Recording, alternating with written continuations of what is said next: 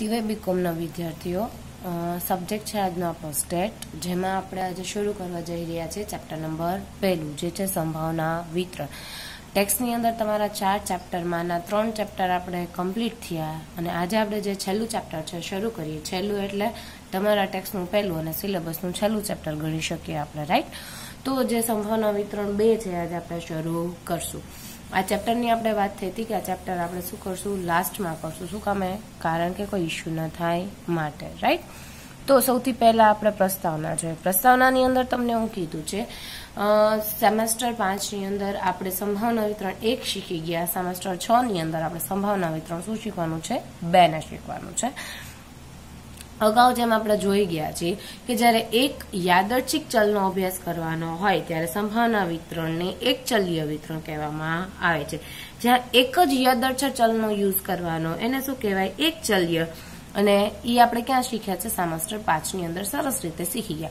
જે પ્રામાણ્ય વિતરણની સૌપ્રથમ શોધ ક્યારે થઈ હતી? તો કે ઈસવીસન સત્તરસો ને તોતેરની અંદર ડી મોઇવ્રેવે નામના ગણિત શાસ્ત્રી છે એમણે કરેલી હતી. એમણે દ્વિપદી વિતરણના લક્ષ્ય તરીકે આ વિતરણ મેળવ્યું હતું.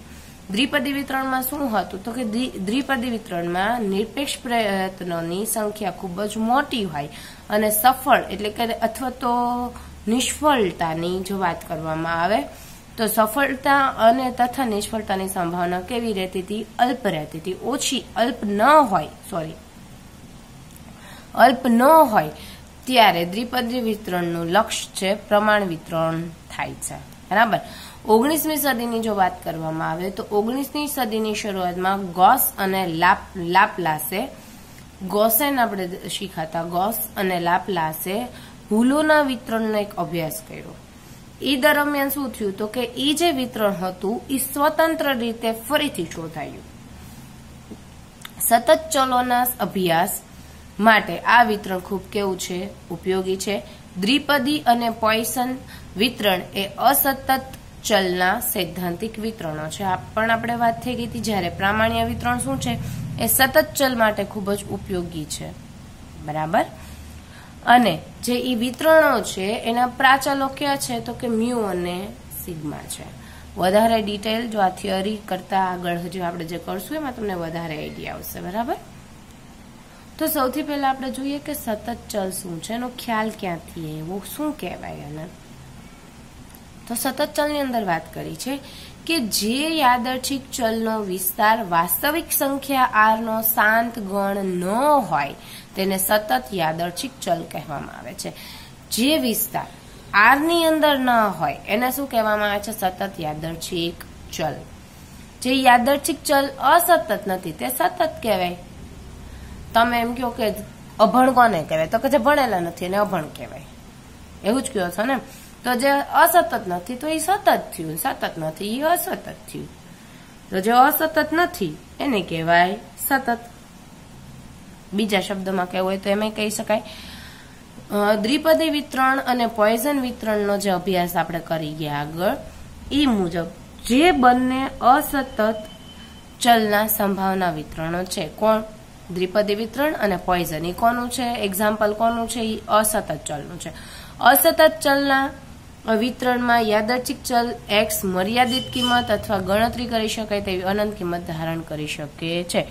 એક્સ કાં તો મર્યાદિત કિંમત ધારણ કરી શકે અને કાં તો અનંતમાં પણ પાછી કેવી? ગણતરી થઈ શકે એવી કિંમત.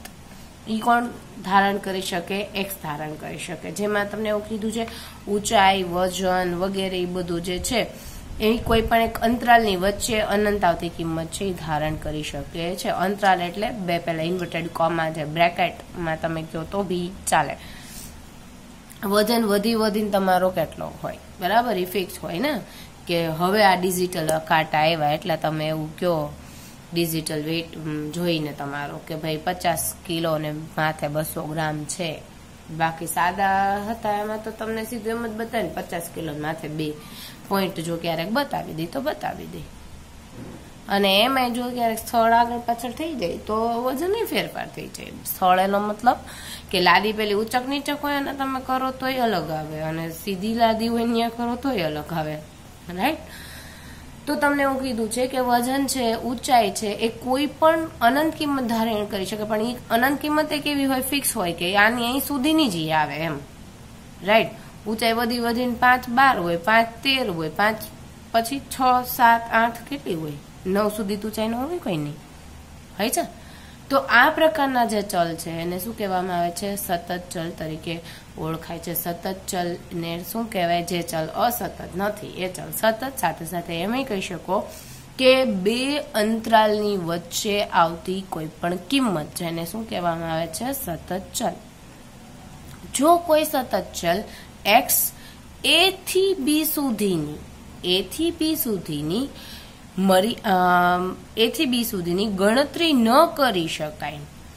તેવી અનંત કિંમત ધારણ કરતો હોય તો તેને a less than or equal x less than or equal b વડે દર્શાવી શકાય છે. એનો મતલબ એક્સની વેલ્યુ એ અને બી વચ્ચે કોઈ પણ હોઈ શકે. હવે આપણને એમ થાય એક્સ અને એ અને બી વચ્ચે કોઈ કિંમત હોય? હવે હું તમને એવું કહું કે ફોર એક્ઝામ્પલ એક્સની વેલ્યુ તમે આવું કહી શકો ને, કે one less than or equal to x less than or equal to two હવે આ છે. તો આની અંદર તો કોઈ પણ બેની વચ્ચે કિંમત આવે. કઈ કિંમત આવે? આના બધા પોઈન્ટ ક્યાં થાય? એક પોઈન્ટ એક એક પોઈન્ટ બે, એક પોઈન્ટ ત્રણથી dash dash dash dash dash સુધી. તો જ્યાં બે આવે ત્યાં સુધી. તો આ ફિક્સ છે કે એકથી બે વચ્ચેની કિંમત. એકથી બે વચ્ચેની કિંમત ફિક્સ એટલે અંતરાલ શું થયું? ફિક્સ પણ એની અંદર પાછી કેટલી કિંમત આવે? અનંત કિંમતો આવે. બરાબર? અહીંયા કોઈકને એડ કરવું હોય તો એક પોઈન્ટ ઝીરો ઝીરો એક એક પોઈન્ટ ઝીરો ઝીરો બે, એક પોઈન્ટ ઝીરો ઝીરો ત્રણ એવું એડ ના થઈ શકે. અંતરાલ ફિક્સ છે. પણ અંતરાલની વચ્ચે પાછી કેવી કિંમતો આવે? અનંત કિંમતો આવે. એ જે ધારણ કરી શકતો હોય, એને કહેવાય સતત ચલ. સતત ચલમાં અનંત કિંમતો માટે દરેકની સંભાવના મેળવવી શક્ય નથી.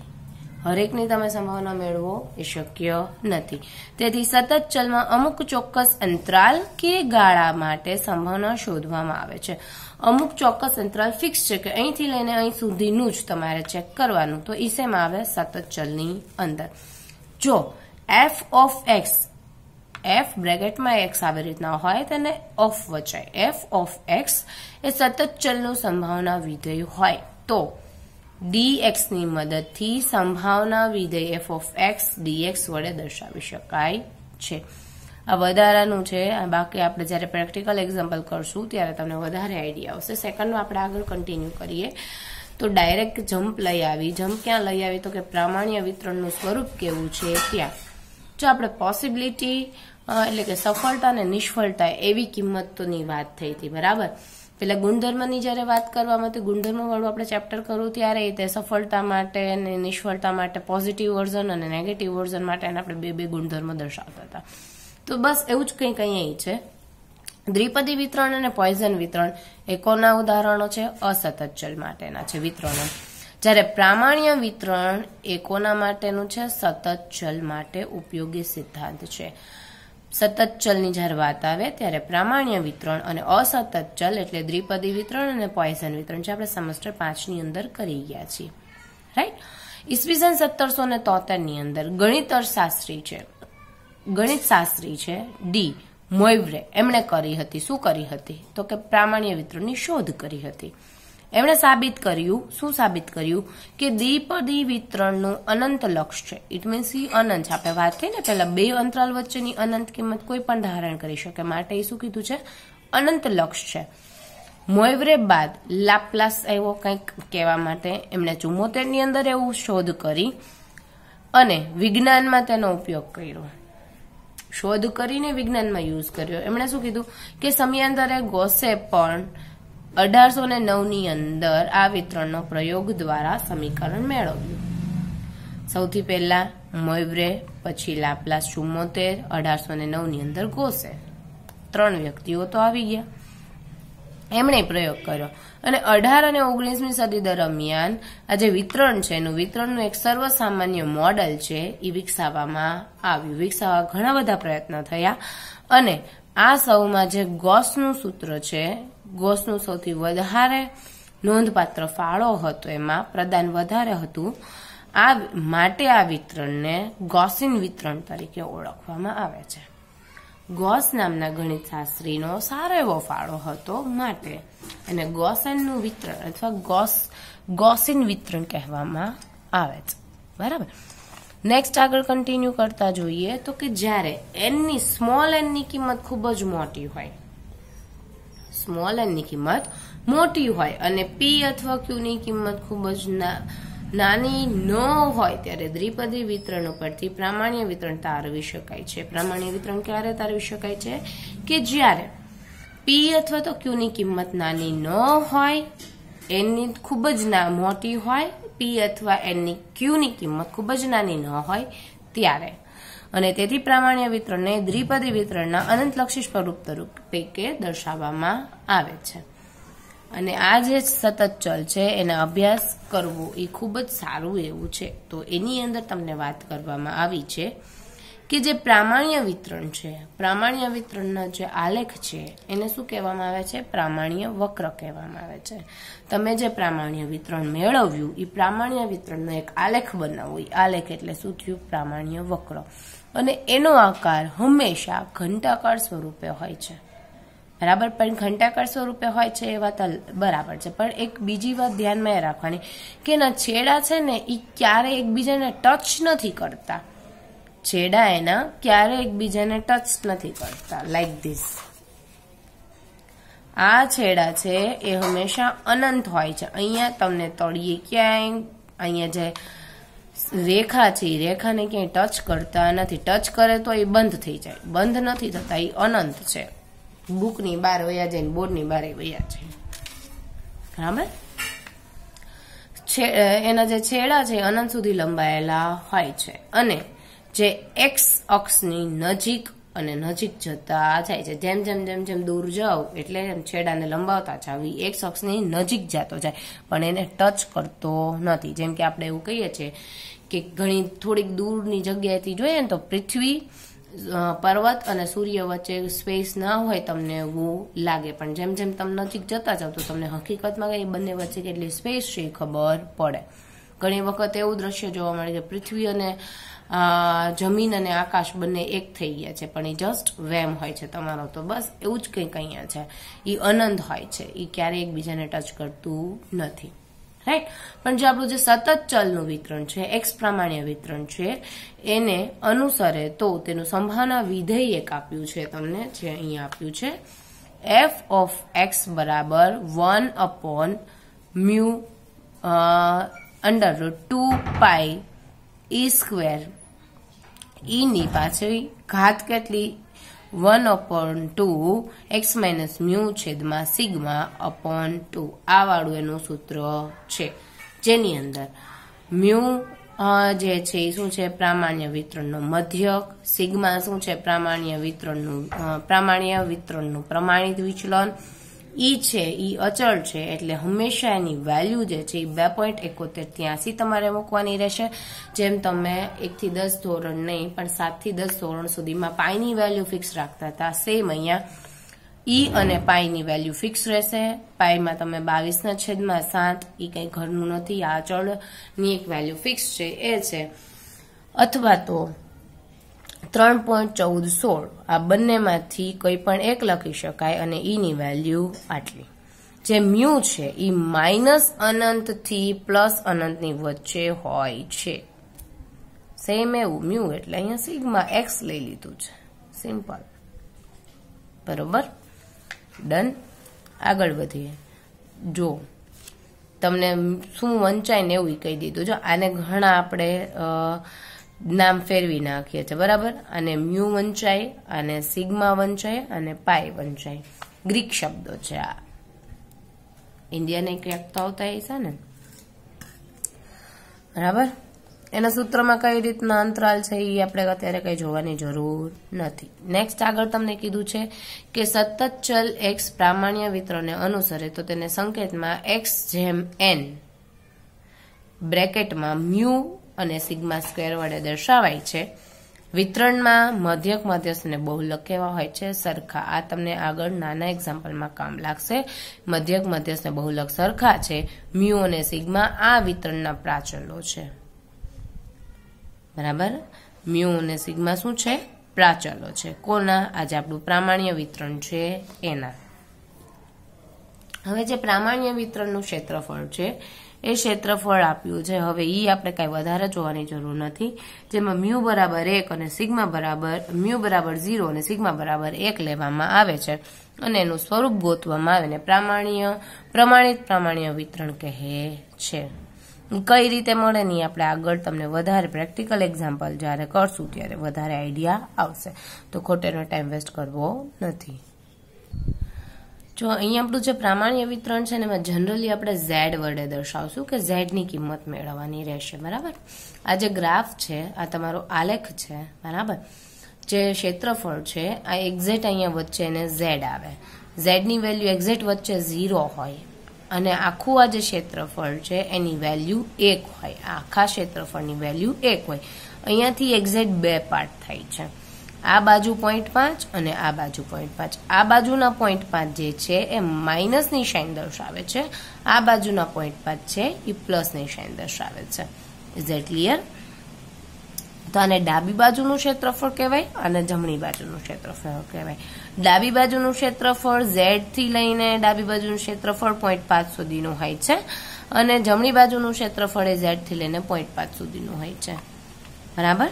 અને ઝેડની કિંમત નાની અને નાની થતી જશે, પણ શૂન્ય તો ક્યારેય નહીં થાય.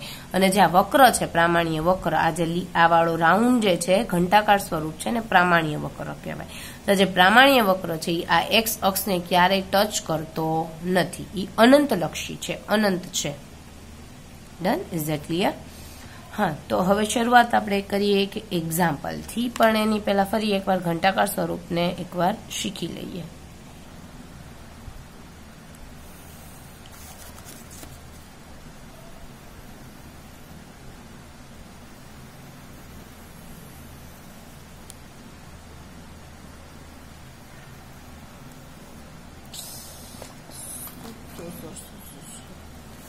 આ તમારું પ્રામાણ્ય વિતરણ છે, પ્રામાણ્ય વક્ર છે. આ જે રાઉન્ડ છે, આ ઘંટાકાર સ્વરૂપ છે અને પ્રામાણ્ય વક્ર કહેવાય.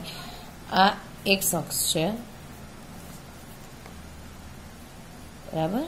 અહીંયા એક્ઝેક્ટ વચ્ચે ઝેડ આવે. ઝેડની વેલ્યુ ઝીરો હોય. આ સાઈડનું ક્ષેત્રફળ હોય પોઈન્ટ પાંચ અને આ સાઈડનું, જમણી સાઈડનું ક્ષેત્રફળ હોય પોઈન્ટ પાંચ. ડાબી બાજુ માઇનસ હોય એટલે માઇનસ અનંત, જમણી બાજુ પ્લસ હોય એટલે પ્લસ અનંત. આખું ક્ષેત્રફળ ટોટલ થઈને એક થાય. આખું ક્ષેત્રફળ કેટલું થાય? એક થાય. બરાબર? તો હવે જસ્ટ શરૂઆત છે. એટલે સિમ્પલ સિમ્પલ એક્ઝામ્પલ જોઈએ ને આના માટે તમને પાછળ ઝેડ ટેબલ આપ્યું છે. એક્ઝામને પહેલી તમારી જે ટેક્સ્ટ છે એમાં તમને પાછળ આપ્યું છે. એટલે તમારે ઝેડ ટેબલની એમાં જરૂર પડશે. અને ના આપવું હોય તમારી પાસે તો એની પ્રિન્ટ ઝેરોક્સ કરાવો અને કાં તો એમને તૈયાર લઈ લો એક એક્ઝામ્પલ આપ્યો તમને. નાના એક્ઝામ્પલની પહેલાં શરૂઆત કરીએ. એક્ઝામ્પલ નંબર એકની અંદર કીધું છે કે ઝેડની કિંમત ઝીરોથી બે વચ્ચે હોય. તેની સંભાવના શોધ. સંભાવના એટલે પી જ થયું. બરાબર? તો સૌથી પહેલા કામ આની અંદર તમારે કરવાનું રહેશે કે તમારી પાસે જે છે, એને પહેલા તમે એક ગ્રાફ બનાવો. પહેલા ઝેડ આકાર, ઘંટાકાર સ્વરૂપે બનાવી નાખો.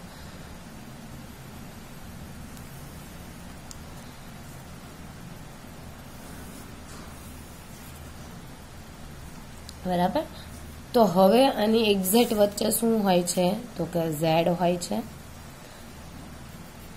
હવે તમને એવું કીધું ઝીરો થી બે. એટલે એક્ઝેક્ટ વચ્ચે આપણે શું કીધું? ઝેડ હોય અને જેની વેલ્યુ ઝીરો હોય. ઝીરો થી બે જો આની આગળ કઈ માઇનસની શાઇન નથી એનો કેવી, એનો મતલબ શું છે? આ પ્લસ છે. એનો મતલબ બે. અહીંયા ક્યાંક બે આવતા હશે, જમણી બાજુ. આ બાજુનું ક્ષેત્રફળ માઇનસ જો માઇનસ કીધું હોત તો આ બાજુ કરે. પણ પ્લસ કીધા છે માટે આ બાજુ રહેશે. કઈ બાજુ? જમણી બાજુ રહેશે. તો અહીંયા ક્યાંક બે છે એવું ધારી લઈએ. બરાબર? બે છે એવું ધારી લઈએ. તો એનો મતલબ કે આટલું ક્ષેત્રફળ છે, અહીં સુધીનું આટલું આ જે ક્ષેત્રફળ છે એ તમારે શોધવાનું છે. ઇઝ ધેટ ક્લિયર તો હવે એને લખવું હોય તો તમે સંજ્ઞા રૂપે કઈ રીતે લખી શકો? તો કે પી ઇન બ્રેકેટ પહેલાં શું રાખવાનું છે? આપણે ઝેડ જો ઝેડની વેલ્યુ તમને શું કીધું છે? ઝીરો અને બે. આવું કીધું છે? ઝીરો અને બેની વચ્ચે. હોવી જોઈએ. એનો મતલબ ઝીરોય પોતે આવી ગયો. એટલે ઝીરોય પોતે આવી ગયો. ઝીરોથી મોટી ઝીરોથી અને બેથી હોવું જોઈએ રાઈટ તો આમ દર્શાવી શકાય એને. ઝેડની વેલ્યુ ઝીરો અને બેની વચ્ચે હોય એવું. બરાબર? તો હવે આ ક્યાંથી મળશે? તો તમારે આના માટે ઝેડ ટેબલ જોવું પડશે. ઝેડ ટેબલની અંદર તમને આ વેલ્યુ મળશે. ઝેડ ટેબલ ક્યાં મળે? તમને બતાવું. અને એમાં વંચાય ઝીરોનું બેમાં જોવાનું. ઝીરોનું ક્યાં જોવાનું? બેમાં જોવાનું. બસ જે બોલો છો એ જ કરો. તો આ ઝેડ ટેબલ છે. જો પાછળ તમને આપ્યું છે ટેક્સમાં પ્રામાણ્ય વક્ર હેઠળનું ક્ષેત્રફળ દર્શાવતું કોષ્ટક. બરાબર? બોલો છો એ કરો. તો ક્યાં એક્સની આ શું છે? ઝીરો. આ ઝીરો છે, ઝીરો પર ઝીરો એક છે, ઝીરો પર ઝીરો ઝીરોનું બેમાં જે બોલો છો ને એ અહીંયા ઉપર આ વાળું આવવું જોઈએ. હવેનું બેમાં. એટલે બે અહીંથી લેવાના. આ ઝીરોનું, એટલે આ ઝીરોનું બેમાં જોવાનું. એટલે અહીંયા. તો આ કેટલા છે? પોઈન્ટ સુડતાલીસ બોતેર. તો તમારો જે જવાબ આવશે એ આવશે પોઈન્ટ સુડતાલીસ બોતેર. કેટલી વેલ્યુ આવી? પોઈન્ટ સુડતાલીસ બોતેર. શું કર્યું? ઝીરોનું બેમાં જોતા. હવે પોઈન્ટ આગળ છે તો આગળ ઝીરો પોઈન્ટ ઝીરો લખી દેવો એ ઇનબિલ્ડ છે. આગળ તમારે ઝીરો લખવો એ ઇનબિલ્ડ છે. તમારે તમારી જાતે જ ઝીરો લખી દેવાનું. કારણ કે આ પોઈન્ટ કરવો એ કમ્પલસરી રહેશે. પોઈન્ટથી જ પાછળનો આન્સર તમારે લખવાનો રહેશે. ન્યાય એવું નહીં કહેવાનું પોઈન્ટ પછી બે આંકડા. પોઈન્ટ પછી ચારે ચાર આંકડા લઈ લેવાના છે. બરાબર? સેકન્ડ વન એક્ઝામ્પલ જોઈએ.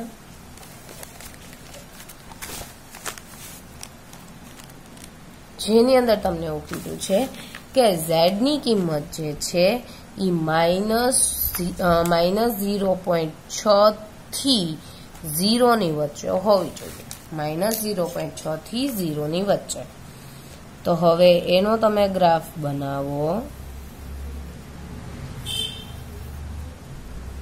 એક્ઝેક્ટ વચ્ચે ઝેડ હોય.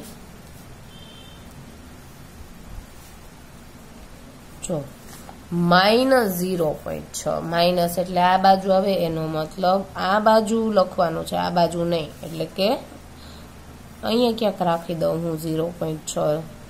માઇનસ છે ને ઝીરો પોઈન્ટ છ છે એટલે આમ જાય તો થોડુંક મોટું મોટું આવતું જાય રાઈટ તો એનો મતલબ આટલું ક્ષેત્રફળ તમારે શોધવાનું છે. બરાબર? તો હવે ટોટલ આપણને જે વેલ્યુ જે છે એ આપણે ગોતવાની. તો કે કેમ ગોતશું? આને સંકેતમાં દર્શાવવું હોય તો કેમ દર્શાવાય? કે p of minus zero point છ less than or equal z less than or equal zero અને નો આવડે તો એમ વાત થઈ. ઝેડ વચ્ચે રાખવાનો પોઈન્ટ છ આ બાજુ રાખવાના ઝીરો આ બાજુ લેસ દેન ઓર ઇક્વલ દઈ દેવાનું સિમ્પલ તો એનો મતલબ ફરીવાર કોષ્ટકમાં જવાનું. કોષ્ટકમાં શું જોવાનું? તો કઈ કોષ્ટકમાં જવાનું પોઈન્ટ છ નું ઝીરોમાં. પોઈન્ટ છ નું ક્યાં જોવાનું? ઝીરોમાં જોવાનું.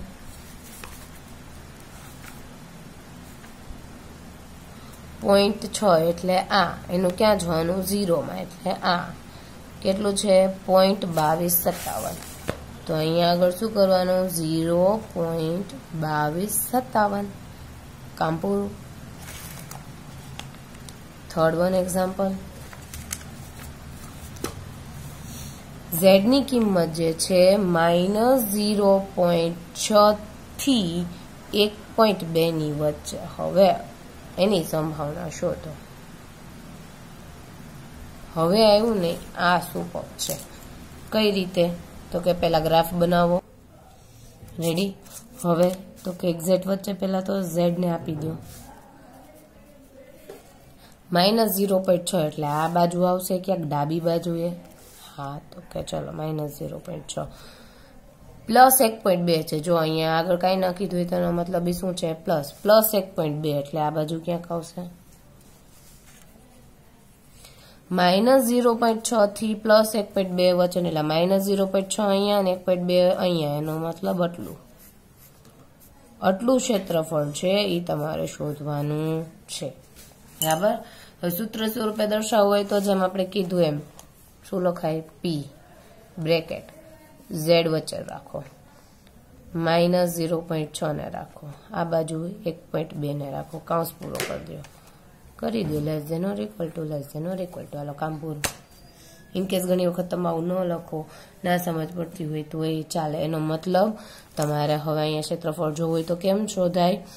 તો કે આટલું જ આ ઝીરો પોઈન્ટ છ છે. અને એ સુધીનું ઝીરો. તો આટ, ઝીરો પોઈન્ટ છ થી ઝીરો સુધીનું જે ક્ષેત્રફળ આવે એમાં હું પ્લસ કરું, શું પ્લસ કરું? ઝીરોથી લઈને એક પોઈન્ટ બે સુધીનું ક્ષેત્રફળ. આ ક્ષેત્રફળ અને આ ક્ષેત્રફળ બંનેનો સરવાળો કરું, તો તમને જે જોઈએ છે એ મળી જાય કે ના મળે? તો કે હા, મળી જાય. તો હવે એવું મારે લખવું છે, એવું દર્શાવવું છે, તો કેમ દર્શાવાય? લખતા આવડે તો ઠીક છે નહીં તો થોડુંક કંઈક ભાંગેલું તૂટેલું લખવું તો પડશે જ. એટલે શું કરું છું? માઇનસ ઝીરો પોઈન્ટ છનું ઝીરોમાં પહેલાં એટલું જોવાનું. માઇનસ ઝીરો પોઈન્ટ છનું ઝીરોમાં તો જે હું બોલું છું એ કરો. તો કે લખો શું? માઇનસ ઝીરો પોઈન્ટ છનું ક્યાં જોવાનું છે? તો કે ઝીરોમાં જોવાનું છે. તો કે આ ઝીરો. એમાં શું હું પ્લસ કરું છું? તો કે ઝીરોનું એક પોઈન્ટ બેમાં પ્લસ કરવાનું. ઝીરોનું એક પોઈન્ટ બેમાં શું કરી દેવાનું? પ્લસ કરી દેવાનું. ડન? તો હવે આ બે ક્ષેત્રફળનો સરવાળો કરે એટલે તમને આટલું ક્ષેત્રફળ મળી જાય. તો પેલા તો પોઈન્ટ છ નું ઝીરોમાં જોતા છે હમણાં જ હજુ આપણે જોઈને રહ્યા છે. કેટલું છે? ઝીરો પોઈન્ટ બાવીસ સત્તાવન. હા, પણ અહીંયા એવો ક્વેશ્ચન માર્ક ના કરતા કે મેડમ અહીંયા પોઈન્ટ છ નું ઝીરોમાં જવો તો જે ક્ષેત્રફળ આવે એની આગળ માઇનસ સાઇન કરવાની નહીં. બરાબર? પ્લસ ઝીરોનું ક્યાં જોવાનું? એક પોઈન્ટ બે ની અંદર. ફરી વાર કાઢો તમારું કોષ્ટક કોનું ક્યાં જોવાનું? ઝીરોનું એક પોઈન્ટ બે ની અંદર. એક બાજુથી શું લેવાનું? ઝીરો લેવાનું. પછી બીજી બાજુથી શું લેવાનું? એક પોઈન્ટ બે. ઝીરોનું એક પોઈન્ટ બે. એટલે અહીંયા શું આવ્યા? પોઈન્ટ આડત્રીસ ઓગણપચાસ. કેલ્સી છે તમારી પાસે? કરું સરવાળો? શું ટેન્શન લ્યો છો? ઝીરો પોઈન્ટ એકસઠ ઝીરો છ. બંનેનો સરવાળો. સિમ્પલ શું કર્યું? પોઈન્ટ છનું ઝીરોમાં જોયું અને ઝીરોનું એક પોઈન્ટ બેમાં જોયું આનું ક્ષેત્રફળ અને આનું ક્ષેત્રફળ. બે ક્ષેત્રફળ અલગ અલગ ગોત્યા અને બંનેનો સરવાળો કર્યો. તો માટે તમને આન્સર આવ્યો એક પોઈન્ટ ઝીરો છ. Done clear next one number ચાર.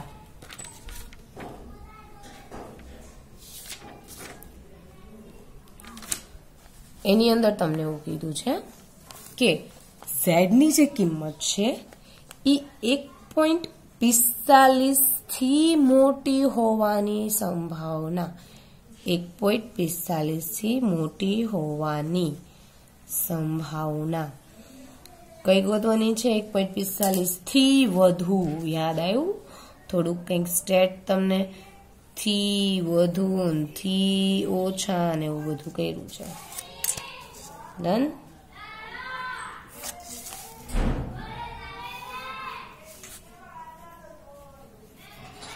હવે એક પોઈન્ટ પિસ્તાલીસ એટલે ક્યાં આવે? પ્લસ છે એટલે આ બાજુ જ ક્યાંક આવે, તો હું અહીંયા ટાંકી દઉં છું એક પોઈન્ટ પિસ્તાલીસને. હવે એક પોઈન્ટ પિસ્તાલીસથી વધુ, એક પોઈન્ટ પિસ્તાલીસથી વધુ જોઈએ, મતલબ આમ જાવ તો થી ઓછા આવે, આમ જાવ તો થી વધારે આવે. એનો મતલબ આ બધું, આ અનંત સુધીનું અહીંથી લઈને એક પોઈન્ટ પિસ્તાલીસથી લઈને આ અનંત સુધીનું હરેક ક્ષેત્રફળ, આટલું આ બધું જ. બધું ક્ષેત્રફળ શોધવાનું છે. બરાબર? તો હવે તો આ કેમ મળે? તો કે આપણને ખબર છે, આ આખું ક્ષેત્રફળ છે એ કેટલું છે? ઝીરો પોઈન્ટ પાંચ છે. બરાબર ને? આખું ક્ષેત્રફળ કેટલું છે? ઝીરો પોઈન્ટ પાંચ. જમણી સાઈડનું આખું ક્ષેત્રફળ. તો એ ઝીરો પોઈન્ટ પાંચ ક્ષેત્રફળ છે, એમાંથી હું આટલું ક્ષેત્રફળ બાદ કરી નાખું. તો આ બાય ડિફોલ્ટ એટલું જ વધે બીજું કંઈ વધે? બસ સિમ્પલ તો. પોઈન્ટ પાંચમાંથી આટલું ક્ષેત્રફળને બાદ કરવાથી બાકીનું ક્ષેત્રફળ તમને છે મળી જશે. રાઈટ તો હવે આને તમારે કરવું છે. તો તમે શું બોલ્યા કે ઝેડની વેલ્યુ કેટલી છે? એક પોઈન્ટ પિસ્તાલીસ વધુ. જો બે અંતરાલ નથી આપ્યા, પણ વધુ કીધા છે. એટલે ઝેડ કેવા હોવા જોઈએ? મોટા હોવા જોઈએ. કોનાથી? એક પોઈન્ટ પિસ્તાલીસથી તો એને આમ દર્શાવી શકાય? હા, બરાબર છે. કઈ રીતના મળશે? તો કે ટોટલ જે ઝીરો પોઈન્ટ પાંચ છે આખું ક્ષેત્રફળ, એની અંદરથી હું શું માઇનસ કરું છું? ઝીરોનું ઝીરોનું જે ક્ષેત્રફળ છે, ઝીરોથી એક પોઈન્ટ પિસ્તાલીસ વચ્ચેનું ક્ષેત્રફળ, એને હું માઇનસ કરું છું અહીંયા. બરાબર? ઇઝ એટ ક્લિયર તો પોઈન્ટ પાંચ એઝ ઇટ ઇઝ માઇનસ શું જોવાનું? ઝીરોનું એક પોઈન્ટ પિસ્તાલીસમાં કે એક પોઈન્ટ પિસ્તાલીસનું ઝીરોમાં એનો મતલબ તમારી પાસે વેલ્યુ કેટલી છે? એક પોઈન્ટ પિસ્તાલીસ. જો જ્યારે આવી રીતના હોય ને, આવી રીતના, કે પોઈન્ટ પછી બે આંકડા, ત્યારે કઈ રીતના ક્ષેત્રફળ જોવાનું? આ એક પોઈન્ટ પિસ્તાલીસ જે છે, એનો મતલબ એક પોઈન્ટ ચારનું જોવાનું તમારે પાંચમાં. એક પોઈન્ટ ચારનું જોવાનું પાંચમાં. બરાબર? ઇન કેસ આમ હોત, એક પોઈન્ટ અડતાલીસ હોત, તો તો કે એક પોઈન્ટ ચારનું જોત, શેમાં જોત? આઠમાં જોત. જ્યારે પોઈન્ટ પછી બે આંકડા હોય, તો તમારે આવી રીતના ક્ષેત્રફળ શોધવાનું રહેશે. તો એનો મતલબ શું? એક પોઈન્ટ ચારનું શેમાં જોવાનું? પાંચની અંદર જોવાનું. તો હવે અહીંયા જો, એક પોઈન્ટ ચાર ક્યાં છે? તો આર્યા એક પોઈન્ટ ચાર, આ એક પોઈન્ટ ચારનું હવે અહીંથી ક્યાં લેવાનું?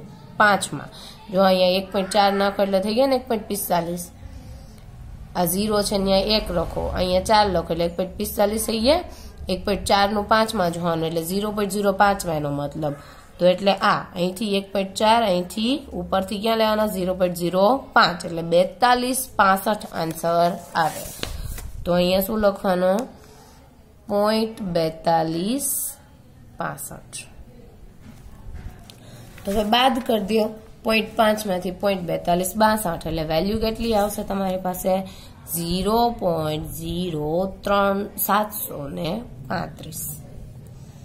ઝીરો પોઈન્ટ ઝીરો સાતસો ને પાંત્રીસ બરાબર? હવે, હજુ એક આગળ કરીએ એક્ઝામ્પલ જેની અંદર તમને એવું કીધું છે કે ઝેડની જે વેલ્યુ છે નેક્સ્ટ વન એક્ઝામ્પલ રહેશે એક્ઝામ્પલ નંબર પાંચ ઝેડની જે વેલ્યુ છે માઇનસ ઝીરો પોઈન્ટ પાંચથી ઓછી હોવાની સંભાવના. તો તમને એમ થાય માઇનસ પોઈન્ટ આપી જ દીધા તો એની સંભાવના છે, જો સંભાવના કીધું છે, અહીંયા તમને આ ક્ષેત્રફળ નથી આપી દીધું. સમજાય છે? ક્ષેત્રફળ આપ્યું નથી. તો શું કરી દેવાનું સૌથી પહેલામાં હરે આ એક્ઝામ્પલમાં હરેકમાં તમારે આંખ બંધ કરીને આને બનાવી જ કાઢવાનું. પણ જોવાનું ભૂલ ભૂલમાં ક્યાંય જોઈન્ટ થઈ જાય. નહીં. માઇનસ કીધા છે એટલે આ બાજુ જ ક્યાંક હશે. તો ધારો કે હું અહીંયા રાખી દઉં. ઝીરો પોઈન્ટ પાંચ. થી ઓછા. જો આમ કરો તો વધારે જાત. આમ કરું એનો મતલબથી ઓછા. એનો મતલબ આટલો પોર્શન આ બધો છે બરાબર? આ બધું જ પોર્શન તો જેમ ઓલામાં કર્યું, આગળનામાં એમ જ કરાય ને? આ આખું કેટલું હોય પોઈન્ટ પાંચ. એમાંથી હું આટલું બાદ કરી દઉં તો આટલું મળે. આ આખું કેટલું છે? પોઈન્ટ પાંચ ક્ષેત્રફળ છે. એમાંથી આટલું ક્ષેત્રફળ બાદ કરું તો આટલું બાય ડિફોલ્ટ મળી જ ગયું ને? બસ, એ જ કામ કરવાનું છે આમાં પણ. શું છે? તો કે પી શું ગોતવાનું છે? ઝીરો પોઈન્ટ પાંચ કરતાં કેવા ગોતવાના છે? તમારે ઝેડની વેલ્યુ તો કે થી ઓછી ગોતવાની છે. એટલે ઝેડ કેવા હોવા જોઈએ? નાના હોવા એટલે ઝેડને કોણી વેગી માટે થી ઓછા થઈ ગયા ઝીરો પોઈન્ટ પાંચથી નાના ઝેડ. થઈ ગયું? તો હવે આને કરવું હોય તો લખવું હોય તો કેમ લખાય? તો કે પોઈન્ટ પાંચ જે છે, હવે ન્યાય એમ ન કહેવાય, ઈ પોઈન્ટ પાંચ માઇનસ હશે, હું. પોઈન્ટ પાંચ જે છે, એમાંથી આખું ક્ષેત્રફળ પોઈન્ટ પચાસ કયો કે પોઈન્ટ પાંચ કયો? બે આમ તો ગણીએ તો એક જ કહેવાય. તો પોઈન્ટ પાંચમાંથી તમારે શું કરવાનું છે? તો કે પોઈન્ટ પાંચનું, ઝીરોનું પોઈન્ટ પાંચમાં જોવાનું. આ ઝીરોનું ક્યાં જોવાનું? પોઈન્ટ પાંચમાં જોવાનું. અને જે ક્ષેત્રફળ આવે એને શું કરી દેવાનું? બાદ કરી દેવાનું. ઝીરોનું પોઈન્ટ પાંચની અંદર. આ ઝીરો અને આ પોઈન્ટ પાંચ એટલે જે ક્ષેત્રફળ આવે છે એ ક્ષેત્રફળને સોરી, પોઈન્ટ પાંચનું ક્યાં જોવાનું? તો કે ઝીરોમાં જોવાનું. જો, એક આ ક્વેશ્ચનમાં છે શેનું, શેમાં જોવું? જ્યારે આ વેલ્યુ તમને આપે કે ધારો કે પોઈન્ટ પાંચનું જુઓ, બરાબર? તો આમ જોવાનું, જો આ પોઈન્ટ પાંચ અહીં પાછળ કાંઈ નથી તો એ જો હંમેશા ઝીરોમાં જોવાનું. અહીંયા આપણે એક પોઈન્ટ પિસ્તાલીસ હતા. તો આ પેલા બે આંકડાને નોખા કરી દો. અહીંયા પાછળ પાંચ છે નો એટલા માટે આપણે એક પોઈન્ટ ચારનું પાંચમાં જોયું હતું. અહીંયા પાછળ કાંઈ નથી, માટે પોઈન્ટ પાંચનું ક્યાં જોશું? ઝીરોમાં જોશું. પોઈન્ટ પાંચનું ઝીરોમાં જોતા જે ક્ષેત્રફળ આવે છે, એ આવે છે પોઈન્ટ ઓગણીસ પંદર. તો આન્સર તમારો આવે છે ઝીરો પોઈન્ટ ત્રીસ પંચ્યાસી. બરાબર? ક્લિયર બાકીનું આપણે આગળ પછી જોઈએ.